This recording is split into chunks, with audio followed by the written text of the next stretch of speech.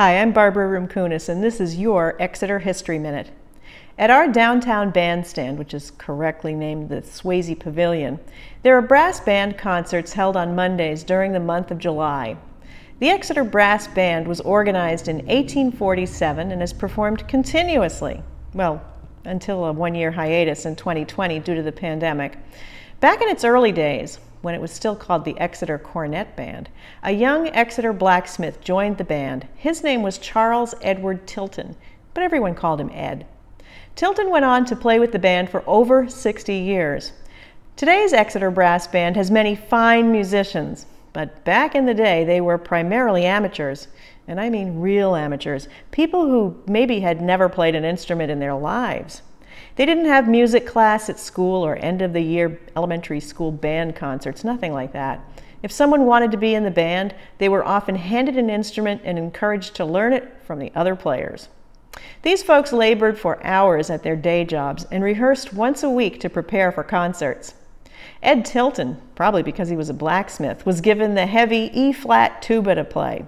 He took to it with tremendous enthusiasm, so much so that fellow band member Henry Shute described it as readily identifiable at the distance of three miles. You get the impression that maybe the band wasn't that great.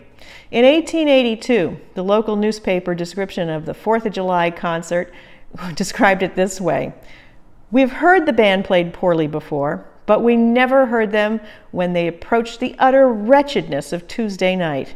At intervals, the bass covered himself with glory by drowning the others and overwhelming the individual discords with one colossal bray. At 10 o'clock, their concert ended to the delight of everyone present.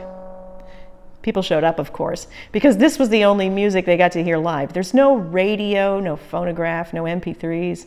In spite of being the colossal bray described in the paper, Ed Tilton continued his run with the band.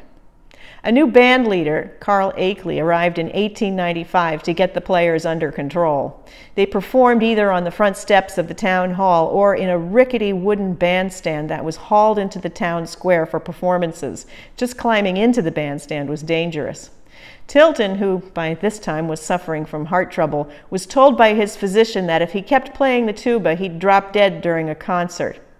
All right, Doc, he reportedly responded. That's just the way I want to go. I'll stick to the old horn.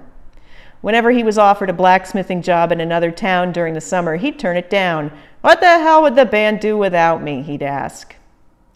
In 1916, Ambrose Swasey had the new bandstand erected in the town square.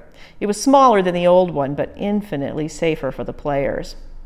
Tilton finally had to stop playing his tuba in 1920. The band held a benefit concert for him, which he sincerely appreciated. It turned out the band could go on without him. He died in 1921, but the Exeter Brass Band continues to perform. The band celebrated its 175th anniversary in 2022. Exeter TV made a nice documentary about it. Look it up. For other Exeter history, check us out at www.exeterhistory.org.